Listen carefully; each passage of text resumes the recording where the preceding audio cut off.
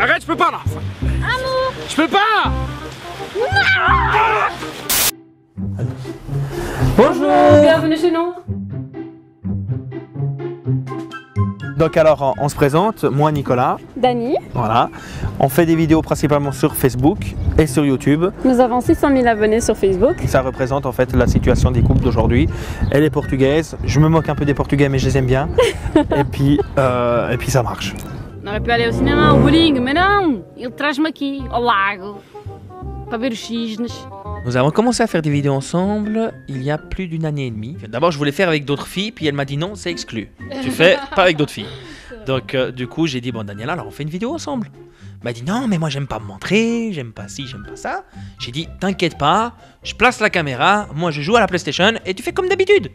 Tu passes devant, tu m'embêtes, tu fais tout le temps la même chose. On était avant dans un supermarché, t'as rien vendu La même chose C'est une casa portuguesa, amor, casa portuguesa, ça veut tout dire Tu fais quoi là? Bah c'est du feijão Je sais pas, en un mois et demi, on a fait plus de 100 000 abonnés, on était, pas, on était choqués parce que même nous, on comprend pas. Puis euh, on n'a pas compris comment on a monté de 100 000 abonnés comme ça. Après, c'est vrai que tant mieux. Nous, on, on fait euh, des vidéos de couple. Dans le couple, s'il y, y a un truc qui joue pas, moi je vais lui dire. Et puis je crois que c'est ça en fait que les gens ils aiment. Ah, não queres falar comigo? Não queres falar comigo? Olha este filho da p! Oh boy, não sabes conduzir, caralho!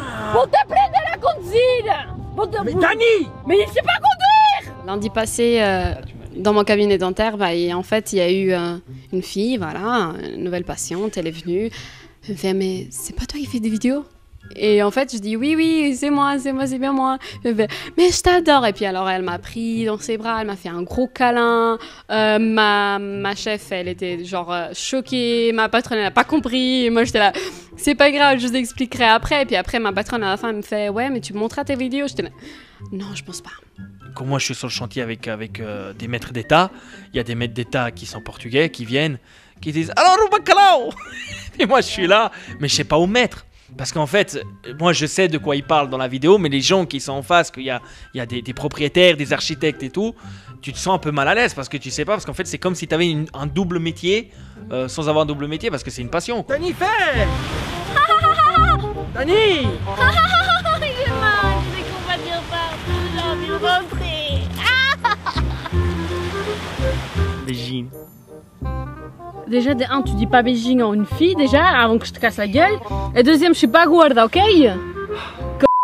Les gens, euh, ils peuvent critiquer tout ce qu'ils veulent. Mais moi, que j'ai côtoyé pas mal de Portugais, qu'il y a sur le chantier, ou qu'il y en a partout, que j'ai côtoyé la famille, tout, ils sont tout le temps en train de gueuler. Il n'y a rien à dire, ils sont tout le temps en train d'insulter, en train de gueuler. Et mais eux, ça leur touche. Il y en a que ça leur touche dans leur ego. Puis il y en a qui prennent tout à la rigolade. Pour la saucisse, bébé, quand il y a des invités à la maison. J'ai pas pu. Dani, touche pas ça, Dani. Une bouteille Une bouteille, Dani. J'ai déjà mon métier, c'est vraiment quelque chose, une passion à côté. Si, si j'ai le temps, je le ferai. Alors moi, sincèrement, s'il y a une télé qui propose faire des chaînes comme euh, auparavant un gars une fille ou une chaîne qui veut diffuser nos vidéos, bah moi je suis partant. Parce que le problème d'un gars une fille, alors ça repasse toujours à la télé, ça cartonne toujours, mais c'est un peu vieillot. On voit que la vie, les habits et tout ça, c'est plus, c'est plus comme aujourd'hui. Enfin, vraiment, on connaît rien et puis on a commencé de zéro, donc euh, à vrai dire, on n'a jamais cherché quoi que ce soit. Mais c'est vrai que si il y a une opportunité qui nous ouvre la fenêtre, enfin la porte, comme on dit chez nous, euh, bah bien sûr, pourquoi pas? Bonjour